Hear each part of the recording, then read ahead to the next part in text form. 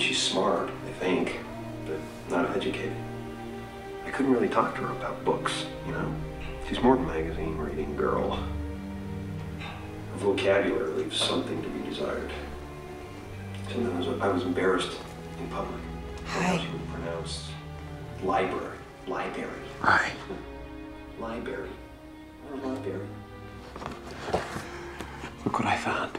I think if there's a truly seductive quality about Clementine, it's that her personality promises to take you out of the mundane. You know? It's like Made me look secure yourself in a skinny. crazy burning meteorite. It'll carry you to another world, a world where things are exciting. But what you quickly learn is that it's really an elaborate ruse. I'm sorry I yelled at You you. access to any other realms. Just okay. flashy, kind of obvious way. But still, I'm seduced. Joel, I really like you. I hate that I said mean things about you. Oh, let me turn this off, okay? Hey, it's, it's only fair. Free spirit, I guess. Where's the real Clementine? I mean, the whole thing with the hair. It's all bullshit.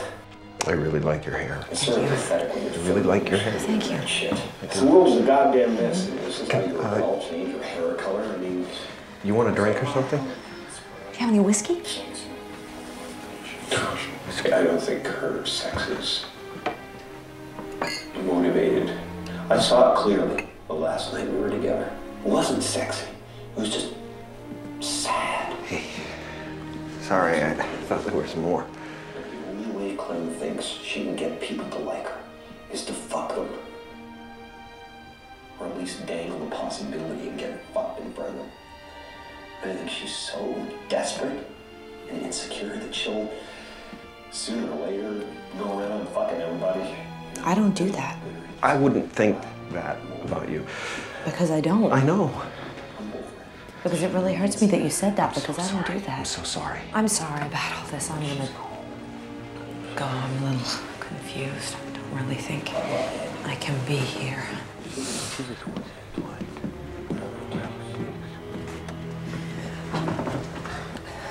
Bye.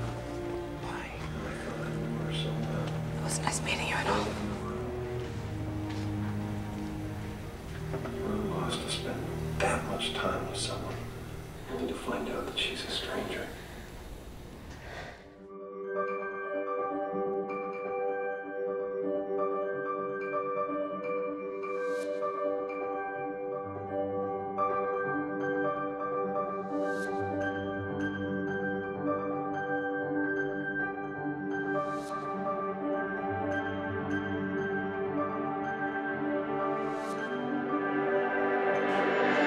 Bye.